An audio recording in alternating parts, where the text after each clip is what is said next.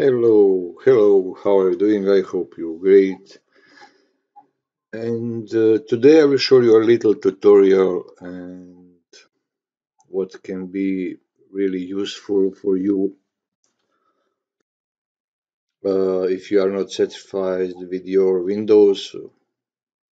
If you have update and you can get back for on the restart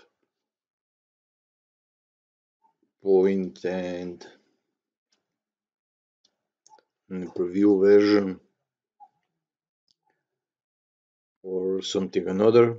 Uh, I'll show you a little, little tutorial how to easy, easy uh, fix that problem and how uninstall that version and your problem it will be solved. It's really you don't need to go uh, only to uh, sorry sorry. Go to settings and on the here you will go to slow to me and go to apps apps to apps and here go to advanced app settings. And here uninstall updates.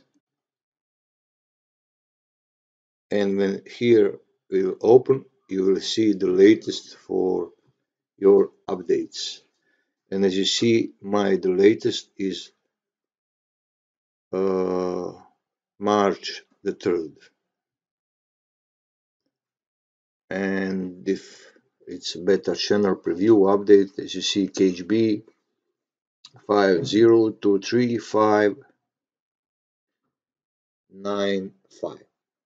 and if I'm not satisfied just uninstall and I will stay of course on this beta channel install you see on the January 25 and just uninstall and that's it. And when you see when I'm go I'm go to as you see to apps and advanced settings apps. And here uninstall apps and when you see look it down to Windows Update now please.